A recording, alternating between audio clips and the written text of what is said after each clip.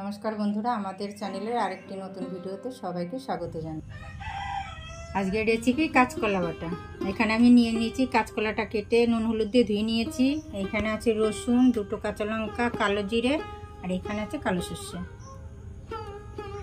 কড়াই গরম হয়ে গেছে, তেলটা দিয়ে দেবো। আচ্ছা রসুনগুলো দিয়ে দেবো। কালো জিরেটা দিয়ে দেবো।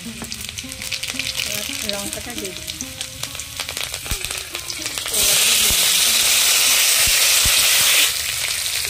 সবগুলো একসাথে ভেজে নেব।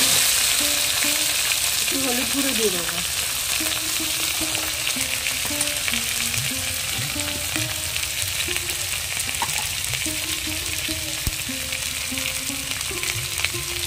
স্বাদ মতো নুন দিয়ে দেবো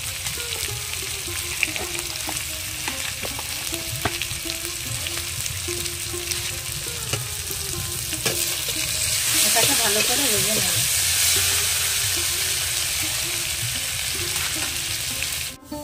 ভাজা হয়ে গেছে আর নামিয়ে নেব।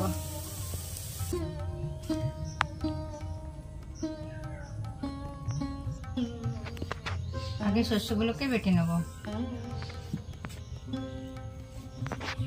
শস্যগুলো বাটা হয়ে গেছে আর কলাগুলো দিয়ে বেটে নেব।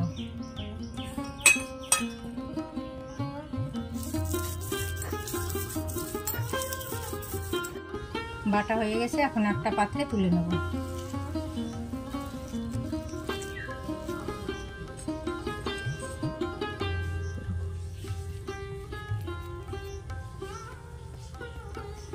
হয়ে গেছে কাঁচকলা বাটা। এটা গরম ভাতে খেতে খুবই ভালো লাগবে।